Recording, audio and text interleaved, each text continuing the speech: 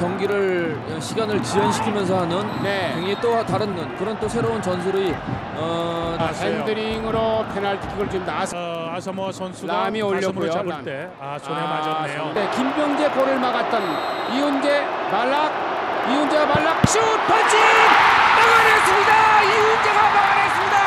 이 방향을 읽었어요? 예측을 해서 따라갔죠. 그게 누굽니까? 말락 아닙니까? 그렇죠. 말락의 페널티를 이훈재가 막았습니다. 지난번 챔피언 결정전에서도 어, 포항팀과 그 페널티킥 승부를 낼때 네. 우승에 기여했던 이훈재 선수. 그렇습니다. 아주 오늘도 결정적인 실점이기 페널티킥을 막는 수훈을 세우네요. 이윤재 선수는 네. 어, 어떤 선수보다 뛰어나다고 생각하고 있어요. 슛 다이렉트로 챔버 걷어냅니다. 성공적으로 걷어내는 이훈재. 역동적으로 네, 걸렸었는데 오늘 이훈재 투혼이 살아납니다. 어, 골키퍼로서의 신장은 그렇게 크진 않지만은 굉장히 순발력과. 민주성이 좋고요. 아, 예. 이것도 코비였어요.